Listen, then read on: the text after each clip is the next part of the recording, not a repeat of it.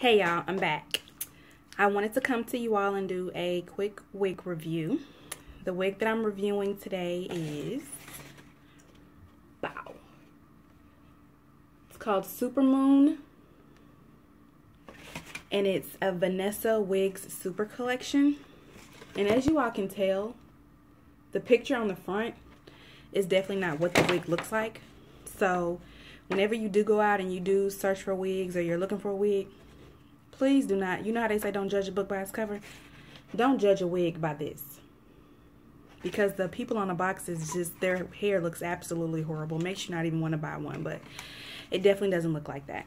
So I've been wearing this wig, or I wore this wig actually. I'm currently not wearing it now. I just wanted to come and do a review on it.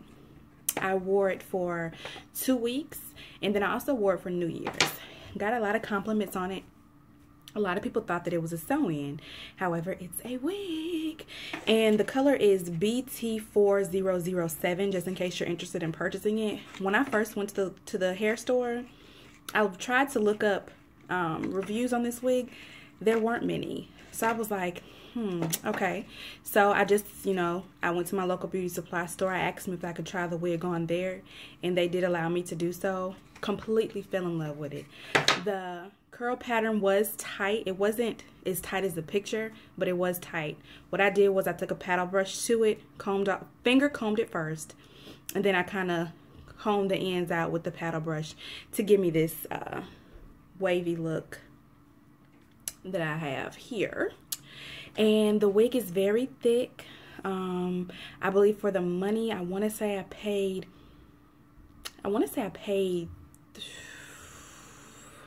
30 38 and that's only because I got the last one in that color so he gave me like 10% off so originally I think the wig was about 40 bucks so if you have any other questions comments um, leave them below. Don't forget to like and subscribe. Um, like I said I love this wig. It's very very thick. Um, it does say that you can use heat to it. It's high heat fiber. And the recommendation is 360 degrees Fahrenheit.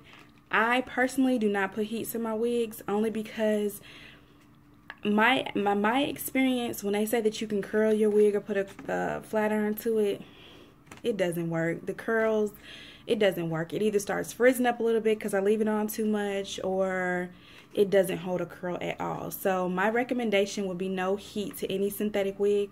However, it does say that you can use it. I didn't try to use heat on this wig. If you do decide to purchase this wig and decide to put heat to it, please let me know. That would be something interesting for me to know. So, um, so maybe I can try it as well. Um, trying to see if that's it. Yeah, and I think that's it. Remember, remember, don't forget to comment and subscribe. Like the video for a thumbs up. And I will see you all in my next video. Deuces.